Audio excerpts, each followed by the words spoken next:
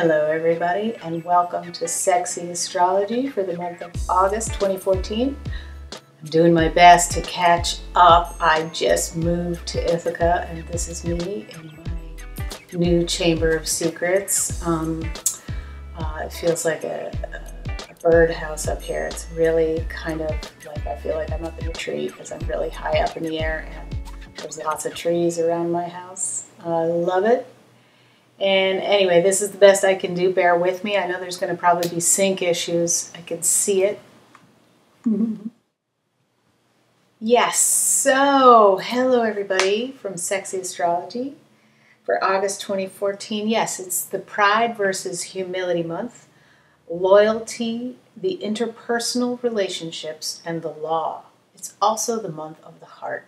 Leo rules the heart. And as you may know, Jupiter is now entering Leo, which means anything that involves public image, um, dealing with matters that would affect your ego in public. Um, it's really good to stay close to your inner self and true to yourself as opposed to getting into flamboyant, kind of flagrant types of trouble.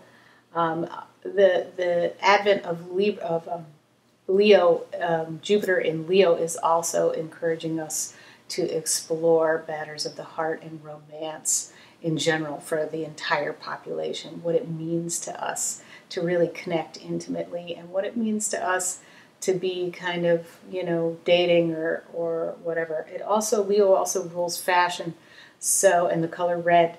So it is a good time to really, um, you know, look at what really fits you the right way.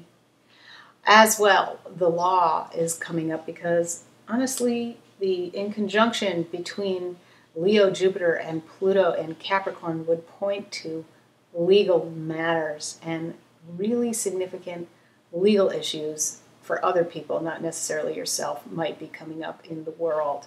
So keep an eye out for that. And also, uh, it's a really good time to have a um, kind of a uh, class action lawsuit. I don't know where I'm getting that information, but if there was a time when a bunch of people needed to get together to kind of fight the system or knock it out from the inside, now is a good time for that. And certainly, hello, dear Virgo from Sexy Astrology. Ha! Yeah, so you and your Scorpio buddies really so do love to sit back and chuckle at people less fortunate than you. But, sweetie, if you're not careful, your cruel gossip could sneak up and bite you in the ass. Yes, Mercury in Virgo coming into the 11th house for you would indicate that there could be trouble with, you know, either how you communicate or the types of company you're keeping. And generally, I can't even complain about work. Shit, Virgo, your, your shit is just all sewn up at work. You have no problems there. But socially, I could see you getting into trouble.